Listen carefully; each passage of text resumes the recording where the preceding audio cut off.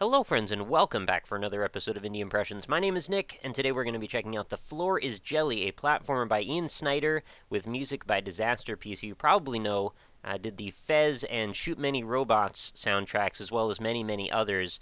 It's uh, this game is essentially going to ask the question of what would it be like if we were to platform around in a world that was completely made of jelly. It's a very straightforward title, actually, uh, with the only exception being that it's not just the floor that is made of this jelly that we mentioned, but the entire world.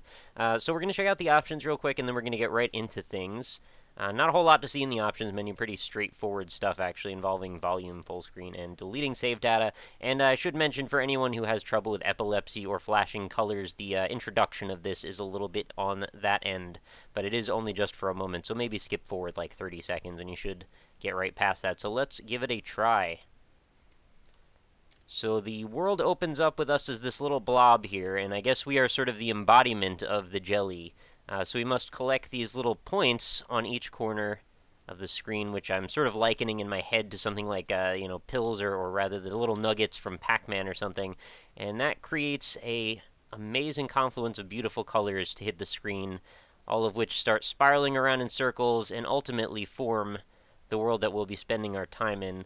Now, what is this game essentially about? It's a very simple concept. Uh, from everything I've seen of it, we're going to be taking uh, this main character here who looks like a little pair of pants, essentially. Just a little guy, a little ghostly guy, uh, through a whole bunch of different uh, scenarios, different puzzles worth of different ways to manipulate the floor and walls and everything being made out of jelly.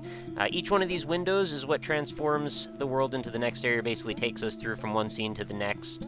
So they're sort of like the, uh, the beginning and the end of each level. Uh, only for some reason you can actually, you can go back. I'm not sure if there's maybe a point later in the game where it opens up a little bit and allows us to be able to, uh, you know, go in and out of different uh, points, and maybe there's actually like some Metroidvania elements to it, or the fact that we have to explore a little bit. But for the most part, the beginning of the game seems fairly linear, uh, and really is all just about taking in uh, the beautiful colors, trying to get acclimated to what it's like having everything you touch bounce and jiggle and squiggle around. It's a very strange concept, but it feels so right. Uh, and it's kind of cool that our character also is so small, uh, because it really lets you be sort of sucked into the world around you, and just one little ripple all of a sudden has a pretty meaningful difference uh, for your character, as well as if you notice all those beautiful particle effects in the background, uh, very calming and serene soundtrack that goes very nicely with it. Uh, and as we progress further into the game, you'll see a whole different variety of different types of ways that things happen, uh, including later on we'll uh, find some water levels, uh, there'll be changes of colors and theme, and things will just start to get a little bit more complex, which is kind of what you would hope out of any platformer, of course. Uh, now, the version I'm playing is a not a final version, but it should be very close to final, so uh, just disregard the frame rate counter and the memory consumption thing in the corner there. Should be a very similar experience, though, to what you're seeing when you get the final version in your hands, like the day after this video should be going up. And of course, I will be including uh, purchase links and everything. I'm just not going to be able to put them up the day this video is up, so uh, just come back again the next day. It should be there. Or if you discover this in the future. So these spiky chunks, these columns, as you'd probably imagine, will kill our character. Not too big of a deal. Thankfully, we uh, respawn at each checkpoint. And we can actually, if we have a good leap, we can go right over the whole thing. I should probably be uh, trying to zoom through these levels a little bit faster so you can see some of the cool stuff later on. And uh, really the whole beginning is all about trying to understand, you know, how do we get the most bounce out of each one of these levels? And also just kind of having fun and playing around with the environment is also kind of a big element. You can actually do some uh, wall jumps, wall dashes up things. So if you find yourself in a position where there's a large vertical face, you should be able to get right up that no problem. And this is an example of a place that's kind of testing your ability to do such a thing. And then we'll just continue on. This world seems to be all encased in jelly, which, uh, not really too big of a problem. In fact, the more jelly, the better for our main character here. I have noticed that to be a bit of an issue. A lot of the time when I'll come out of uh, one of these windowsills, I find myself uh, going right back into it again, which is probably not ideal. Uh, but still, you know, can be generally avoided by just moving after you get out. Sort of looks a bit like Mario pipes or something here that we're climbing up, just blue versions of them.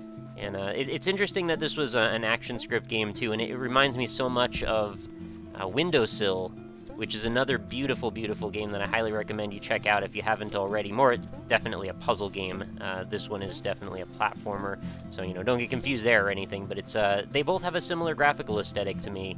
Uh, they're very you know smooth and silky and very uh, animated in their delivery. Uh, let's just jump. Oh, can we? Yeah, we actually jumped straight through that. Beautiful. Character actually reminds me a little bit of a flea, too, which is kind of interesting, because I guess that kind of gives him extra jumping power. Uh, and then it sort of makes you question the scale of everything, right? Since the trees are like, I don't know, two times the size of your character. Um, maybe they're just tiny little plants or something. So I need to actually use the uh, wiggliness of the world to get around this spiky pillar. And the best way to get a big chunk of it to break down and let me through is to actually get a really nice jump. And then that should let me right past. So now I just need one big long jump across there, and we actually find ourselves going to... Oh, I've fallen off the edge. I didn't realize there was an edge there. Uh, we find ourselves going to this phone booth, and some birds magically come out of the ground or something. And this should be what takes us on to the next area. And you'll notice things get much more mysterious here.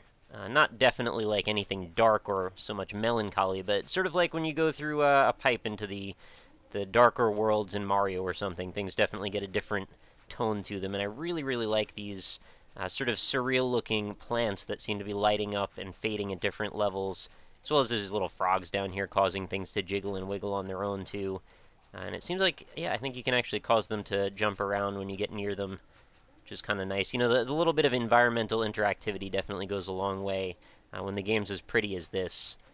And uh, in general, I find also the controls work really well. I haven't had any issues with that. There are a few levels where maybe I feel the level design might not necessarily complement uh, what we're trying to do to the best degree, but they're also, you know, kind of necessary in a way to mix up what's been going on in this. So here's a thing that I'm not 100% sure on. There's actually, there's a windowsill up here that we can take to go to an area, or if we feel like it, we can actually go up this little path up to the right and this should also take us to a different windowsill, or at least I seem to be a different one. I've only gone through this way. Uh, and I think uh, one of the issues that I've had, and this is probably like one of the best issues that you can ever have when I'm playing an Indie Impressions game, is when I was trying to get my sound check, I found that I was so engrossed in seeing where I was going and what I was doing that I didn't even want to stop playing it uh, to go ahead and do the video, which, you know, that's, I don't know, I think that's kind of good. It was awfully fast to get addicted to it, so uh, this is one that I'll most likely be playing all the way through, although I'm not quite sure to the length of it. I would hope it's nice and long, but, you know, it's tough to say until I finish uh, playing through all of what's here. Having a little trouble climbing up this side here for some reason. I guess if you hit a bunch of bad jumps, uh, you'll notice all of a sudden, you know, your movement is very constrained, and you might find yourself making a bunch of mistakes past that. Alright, so here we go. Another phone booth or elevator. And this one takes us to a beautiful pink world where we have uh, some water also playing a part. Now the water's deal is that it essentially acts like a reverse gravitational pull. So whenever we're under the water, because I guess we're so small, uh, the water tends to propel us towards the surface. And in most cases, that will actually let us uh, jump out to a higher degree. So let's see if we can get on to the next one. And then we'll start seeing some puzzles that involve uh, incredibly interesting use of the water, we'll say. Let's see if I can... Uh, if I can push myself off of this, I should be able to get a bit deeper. Actually, probably better to be over here. I'm riding the surface of the waves, which is kind of a bad thing, uh, because it tends to leave me in the same position each time. Alright, what can I do about this one? Uh-oh. Can I ride? Oh, there we go. I needed to bounce a little bit into the ceiling. There we go. I needed a good kickoff, and then I was able to get back in. So the thing about the water is the further up you start, the further down you're going to end up, and that means you're going to get a bigger uh, jump back on the rebound. Now, I think there's a few ways you might be able to solve this if you're good enough at making these jumps happen. You'll probably be able to uh, use the bottom here to propel yourself up, and then you can go up and around. There's actually, wow, another windowsill up here that I didn't even notice. So I guess there's a few branching paths as well to this uh, which is pretty awesome, and I really like the way that house uh, just sort of stripped away to let you see inside. Oh, what is this? We've got... There's a whole little menu here. I didn't even find this when I was playing before. Uh, look, inventory, web. I'm not actually sure what that is 100%, but I think that's uh, kind of mysterious and awesome that it's there. So maybe something to investigate a bit later. Is there anything else uh, to see in this this area? No, I think that might be all there is. So this is uh, an extra little Easter egg, perhaps, or something else that takes us into an entirely different uh, realm of possibilities, and I'm very curious as to what exactly that is. Okay, so we're going to bounce around here, and there's another windowsill down here. And now we're going to get to uh, a little bit more difficult stuff. As you'll see, we've got a lot of spikes happening, and this involves slightly more accurate jumping. We're going to have to find a way uh, to get around this successfully. So a big jump, very likely necessary. And the other way I could have done this too is to jump around the back of this uh, block and then try and come up from the other side. But that's most likely just going to result in the same issue, uh, just trying to get higher up into the air. Now, what's the deal with this one? Alright, so we want to get as high as possible from here, try and get around that edge. And then we should get a nice big jump off, which is going to allow us to go up from the top. Uh, if I don't quite make it, then might have to get a bigger jump while we're underwater and use this. Yeah, there we go. Elasticity will let us get a bigger one from that. Alright, so now... Oh, got to find a way through here. And I think I need to get down in uh, between these two points, and I'm not sure exactly quite how to do this. Alright, I guess that's one way to do it. Alright, so we'll bounce up here, and I think we should be able to fall down into the center, and that should allow us to kind of lock in our progress. And there we go, we can bounce over to the other side. Okay, now let's see if we can get through this little narrow channel. Uh, this is sort of an area where I think you could probably make quite a few jumping mistakes. If you end up sort of on the wrong, like off-kilter in your bounces, I think you could end up sort of bouncing right into the window a bunch uh, more times before you get out of here. I guess you don't want to use that corner, uh, but we're actually doing some reverse wall jumps. And now I want to actually try and bounce off of here. There we go. That'll let us get up. Now, how do I get into that window? I'm not 100% sure. Um, I think it's too far down for me to try and bounce through the ground. I wonder if I'm really skilled if I could, like, bounce through this tiny little crack into the other side. I don't think that's probably possible. Oh, that was strange. I sort of clipped up through the top of things. Maybe I want to jump from off of here. There we go. That'll work. And you kind of get the idea, I think, probably from what I've shown you so far. It definitely has a, uh, a little bit of like a hardcore appeal to it in the way that the platforming works, but it's not all uh, overly difficult either.